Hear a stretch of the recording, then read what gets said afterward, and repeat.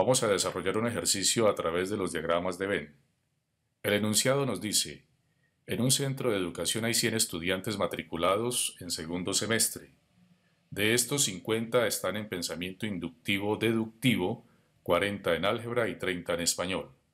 10 estudian pensamiento inductivo deductivo y álgebra, 15 español y álgebra, 12 pensamiento inductivo deductivo y español, 8 estudian español, pensamiento inductivo, deductivo y álgebra.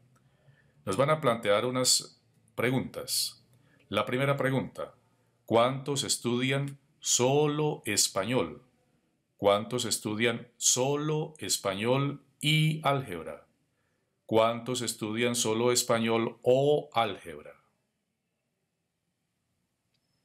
Encontramos en el enunciado entonces que hay 100 estudiantes matriculados, lo cual significa que ese es nuestro conjunto universal. Entonces vamos a ubicar acá U igual a 100. Siguiendo con la lectura encontramos que hay un grupo de pensamiento inductivo-deductivo, lo cual nos va a conformar entonces el primer conjunto. Este conjunto P y D va a tener un valor de 50, que son los que están matriculados en esta asignatura. 40 están en álgebra. Tenemos un conjunto, un segundo conjunto para álgebra, igual entonces a 40. Un tercer conjunto aparece porque hay 30 también que están en español, o sea que hay un conjunto para pensamiento inductivo deductivo, uno para álgebra y otro para español. 10 estudian pensamiento inductivo, deductivo y álgebra. Podemos observar que entonces entre estos dos hay una intersección. Esta intersección que acabamos de generar nos muestra entonces el equivalente a 10 personas. O sea que estamos con la intersección entre pensamiento inductivo deductivo y la asignatura o los que están matriculados también al mismo tiempo están en la asignatura de álgebra. Equivale a 10 personas. Encontramos ahora que hay otra intersección entre español y álgebra equivalente a 15 personas. La hemos ubicado a esta parte, dado que vamos solo acá y hasta el momento no se ha indicado una intersección con pensamiento inductivo, deductivo y español. O sea que por el momento y para el análisis vamos a ubicar entonces esta intersección o este conjunto en esta parte. Encontramos en este momento 12 que estudian pensamiento inductivo, deductivo y a la vez están estudiando español. O sea que aquí ya encontramos una intersección entre este conjunto y este otro conjunto. Eso significa cambiar de posición este conjunto para que haya la intersección igualmente con pensamiento inductivo deductivo. Lo dejamos entonces de esta manera. Queda, recordemos que aquí tenemos 10 personas que equivale a todo este espacio, 15 personas que equivalen a todo este espacio. Bien, esa intersección que acabamos de realizar es esta, equivale a todo este espacio, y tiene un valor de 12 personas. Repasando, podemos encontrar entonces que hay una intersección entre pensamiento inductivo-deductivo y álgebra equivalente a 10 personas. Una intersección entre álgebra y español equivalente a 15 personas y una equivalente de, 12 personas entre pensamiento inductivo, deductivo y español. Continuando con el enunciado, encontramos que hay 8 que estudian español, pensamiento inductivo, deductivo y álgebra. Quiere decir que 8 estudiantes comparten esos tres espacios a la vez. Vamos a la gráfica, buscamos un espacio donde estén los tres y aquí lo hemos encontrado. Entonces vamos a ubicar ahí 8 que corresponde a esos estudiantes que comparten estos espacios.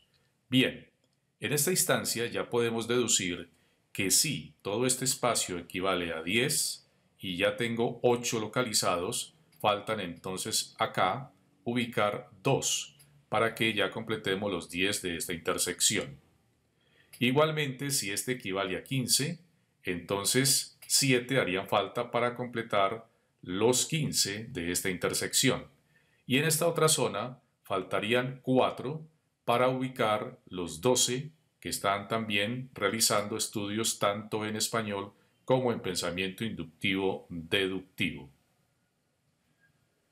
Halladas ya estos valores, halladas ya estas intersecciones con estos valores, entonces vamos a continuar para completar lo que nos hace falta en estos espacios.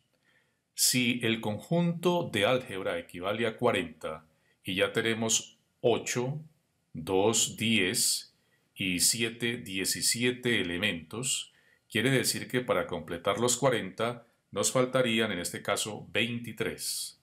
Ubicamos el 23 lo que equivale a que todo este conjunto sea igual a 40.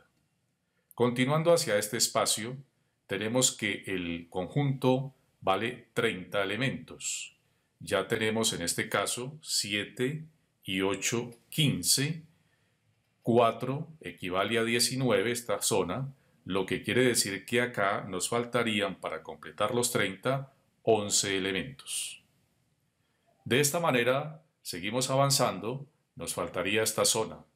Quiere decir que si nosotros tenemos acá 8 y 2 10 y 4 equivalen a 14 elementos y el conjunto completo vale 50, en esta zona nos faltarían 36 para completarlos y así queda todo el conjunto o todo el diagrama de Venn con los valores correspondientes.